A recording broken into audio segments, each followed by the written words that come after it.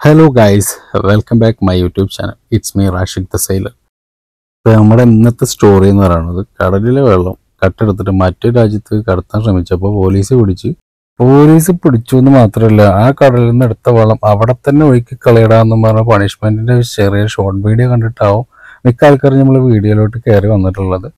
അപ്പോൾ നമ്മൾ ഫസ്റ്റ് ആയിട്ട് പറയുകയാണ് ഈ ബലാസ്റ്റ് അല്ലെങ്കിൽ ഡി ബലാസ്റ്റ് കപ്പലിനെ കുറിച്ചൊക്കെ അറിയുന്നവർ ഈ വീഡിയോയിൽ കയറി ഇനി കമന്റൊക്കെ ഇട്ട് പൊങ്കാലിടണ്ട ഡി ബലാസ്റ്റിനെ മോഷൻ നിങ്ങൾക്ക് നിങ്ങൾക്കറിയാം അതെന്താണ് എന്തിനാണ് അതങ്ങനെ ഒഴുക്കി കളയണം എന്നുള്ളത്.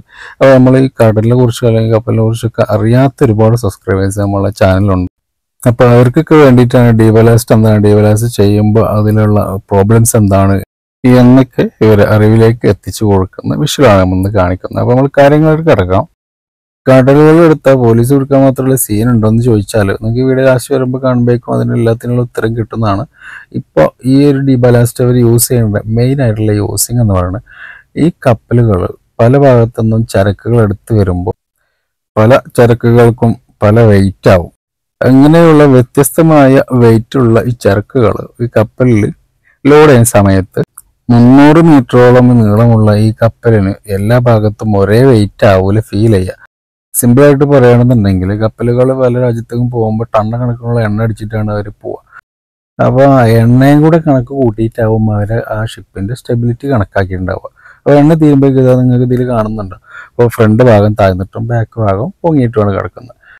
അപ്പോൾ ഇങ്ങനെ ഒരു സാഹചര്യം വരുമ്പോൾ നടുക്കടലിൽ നിന്ന് അവർക്ക് എണ്ണ അടിച്ചു കണ്ടത് നേരെയാക്കാനുള്ള ഒരു ഓപ്ഷനും ഇല്ല. അപ്പോൾ അവർക്കുള്ള ആകെ ഒരു ഓപ്ഷൻ എന്ന് പറയുന്നത് കടലിലെ വെള്ളം ഷിപ്പിൽ നിറച്ചിട്ട് ഷിപ്പിന്റെ ചെരിവ് നേരെയാക്കണ ഓപ്ഷൻ മാത്രമേ ഉള്ളൂ. അപ്പോൾ ഇവരെന്തെന്ന് ചെയ്യാന്ന് വെച്ചാൽ ആ ഷിപ്പിന്റെ സീ ചെസ്റ്റ് വഴി കടലിലെ വെള്ളം അവർ ഫില്ല് ചെയ്തിട്ട് അതിന്റെ സ്റ്റെബിലിറ്റി നേരെയാക്കും. ഒരു എക്സാമ്പിൾ ഞാൻ കാണിച്ചു തരാം അപ്പോൾ ബാക്ക് ഭാഗത്ത് അല്ലെങ്കിൽ ഫ്രണ്ട് ഭാഗത്താണ് ഡീസൽ ടാങ്ക് എന്നുണ്ടെങ്കിൽ ആ ഭാഗത്ത് എന്തോരം ലിസ്റ്റ് അല്ലെ എന്തോരം ചെരിവുണ്ടെന്ന് നോക്കിയിട്ട് ആ ഭാഗത്തുള്ള ബലാസ് ടാങ്കിലേക്ക് എത്രത്തോളം സീ വാട്ടർ നിറക്കണം ഇതെല്ലാം കാൽക്കുലേറ്റ് ചെയ്ത് വളരെ ഉത്തരവാദിത്തത്തോടു കൂടി അതിന്റെ ഓഫീസേഴ്സ് അത് മെയിന്റെയിൻ ചെയ്ത് ആ ഷിപ്പിന്റെ സ്റ്റെബിലിറ്റി അല്ലെങ്കിൽ ആ ഷിപ്പിന്റെ ചെരിവ് സേഫ് ആയിട്ടുള്ളൊരു സ്റ്റെബിലിറ്റിയിൽ നിലനിർത്തിയിട്ട് അവർക്ക് അടുത്ത രാജ്യത്തോട്ട് എത്തുന്നത് വരെ ആ കപ്പലിലെ ഡ്യൂട്ടി ഓഫീസേഴ്സ് ഈ ജോലി തുറന്നുകൊണ്ടായിരിക്കും അങ്ങനെ അവർ സേഫായിട്ട് ആ രാജ്യത്തോട്ട് എത്താം. അപ്പം അങ്ങനെ നോക്കുമ്പോൾ നമുക്ക് മെയിനായിട്ട് ഒരു പ്രോബ്ലം വരുന്നത് എന്താന്ന് വെച്ചാൽ ചൈനയിൽ നിന്ന് വന്ന ആ കപ്പൽ ചൈന കടലിൽ നിന്നും കോടിക്കണക്കിന് ലിറ്ററുകളോളം കടലിലെ വെള്ളം ശേഖരിച്ചിട്ടാണ് ഈ ദുബായ് കടലിലേക്ക് വരുന്നത്. അപ്പോൾ അവിടുത്തെ വെള്ളത്തിന്റെ ഘടനയാവില്ല. നമ്മുടെ ദുബായ് കടൽ വെള്ളത്തിന്റെ ഘടന. അപ്പോൾ അവിടെ നിന്ന് ലോഡ് ചെയ്ത സീ വാട്ടർ ഇവിടെ വന്ന് ഡിസ്ചാർജ് ചെയ്യുമ്പോൾ ചൈനയിലുള്ള കടൽ വെള്ളത്തിലെ ബാക്ടീരിയകളോ അല്ലെങ്കിൽ എന്തെങ്കിലും വംശനാശം സംഭവിക്കുന്ന ബാക്ടീരിയകൾ ഈ രാജ്യത്തുള്ള കടലിൽ വന്ന് വലിയ പാരിസ്ഥിതിക പ്രശ്നങ്ങളൊക്കെ ഉള്ളത് കൊണ്ട് വളരെ ഗൗരവമായിട്ടുള്ള റൂൾസ് ആൻഡ് റെഗുലേഷൻസും നിയമങ്ങളൊക്കെയാണ് അതുകൊണ്ട് ഇങ്ങനെയുള്ള നിയമങ്ങളൊക്കെ നിർബന്ധമായിട്ടും പാലിച്ചിട്ടാണ് നമ്മുടെ ഷിപ്പുകളൊക്കെ സെയിലാവുന്നത്.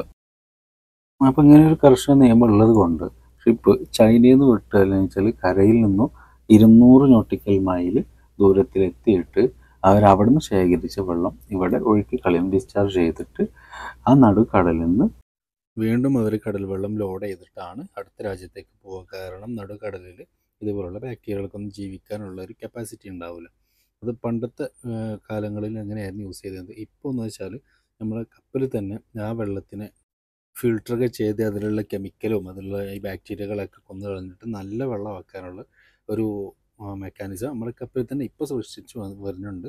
ഇപ്പോൾ രണ്ടായിരത്തി ഇരുപത്തിനാല് മുതൽ എല്ലാ കപ്പലിലും നിർബന്ധമാണെന്നുള്ളതാണ് നമുക്ക് കിട്ടിയിട്ടുള്ള നമ്മുടെ അറിവ്.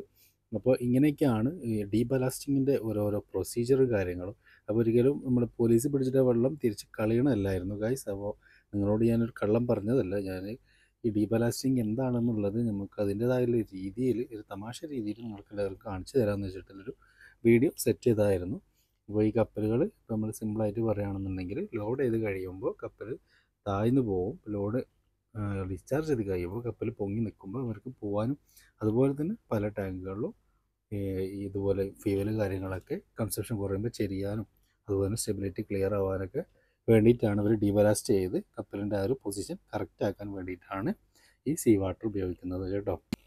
അപ്പോൾ എന്തായാലും നമ്മൾ മലപ്പുറം ഭാഷയിൽ ചെറിയൊരു ഷോർട്ട് വീഡിയോ ചെയ്തപ്പോൾ എന്തായാലും നിങ്ങൾ അഭിപ്രായം എന്ന് പറയുന്നുണ്ട്. എല്ലാവരും പറയണ്ടായിരുന്നു നിങ്ങൾ മലപ്പുറത്തില്ലാനാണോ അത് പുറത്തില്ലാണോ? ചില ഭാഷകളിൽ നിങ്ങളുടെ ഭാഷ മലപ്പുറം വരുന്നുണ്ട് ചിലത് വേറെ ഭാഷകൾ വരുന്നുണ്ടെന്നൊക്കെ. അപ്പോൾ എന്തായാലും വീഡിയോ ഇതുവരെ കണ്ടിരുന്ന എല്ലാവർക്കും താങ്ക് യു സോ മച്ച് വീണ്ടും അടുത്ത് ഒരുപാട് അറിവും വീഡിയോകളൊക്കെ ആയിട്ട് വീണ്ടും വരുന്നതാണ്. അപ്പോൾ നമ്മുടെ വീഡിയോ ഇഷ്ടപ്പെട്ട് കഴിഞ്ഞാൽ ചെറിയൊരു ലൈക്കൊക്കെ തന്ന് നമ്മുടെ വീഡിയോക്ക് ഒന്ന് സപ്പോർട്ട് ചെയ്യുക ഗൈസ് അപ്പോൾ എന്തായാലും താങ്ക് സോ മച്ച് അടുത്ത വീഡിയോ വരുന്നവരേക്കും വീണ്ടും കാണാം. Bye bye